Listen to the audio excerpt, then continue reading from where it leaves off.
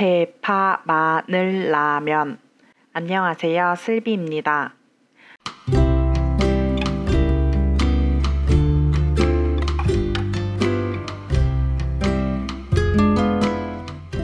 오늘 만들어 볼 요리는 대파 마늘 라면입니다. 특별한 라면이 없을까 찾다가 딱 발견했지 뭐예요. 만드는 방법도 아주 간단하고 그럼 같이 가볼까요? 오늘의 재료는 라면 1개, 대파, 마늘, 계란 1개, 고추기름 또는 식용유입니다. 마늘 4개를 꺼내고 이건 조금 더 넣어도 좋을 것 같아요.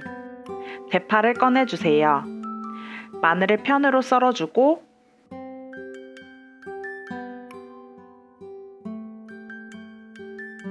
대파를 반으로 썰고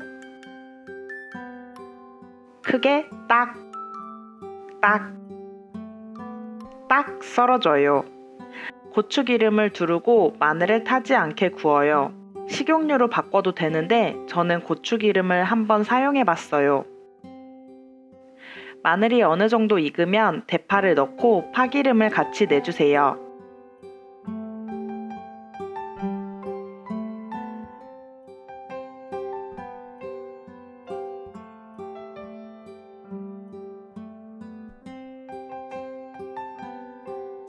파기름을 다 내줬으면 라면 한개 끓일 분량의 물을 넣어요.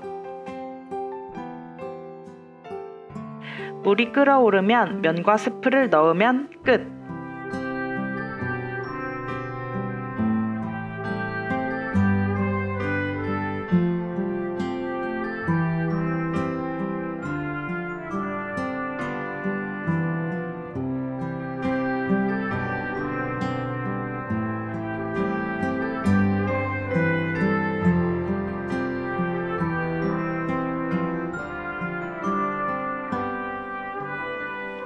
벌써 끝났네요.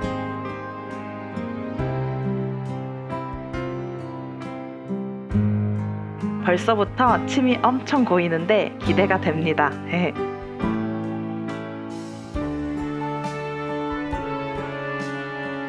어느 정도 익으면 계란을 넣어주세요. 저는 라면에 계란 넣는 것을 굉장히 좋아한답니다. 물론 생략도 가능해요.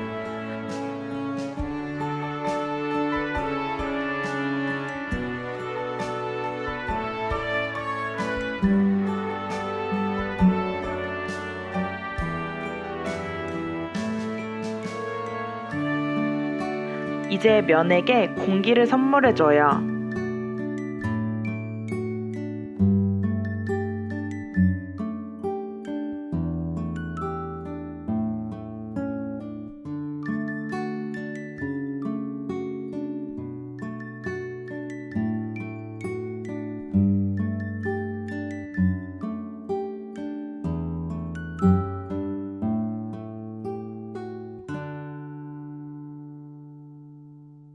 드디어 완성!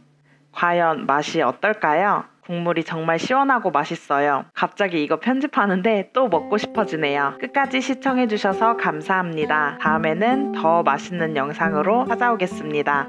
빠이!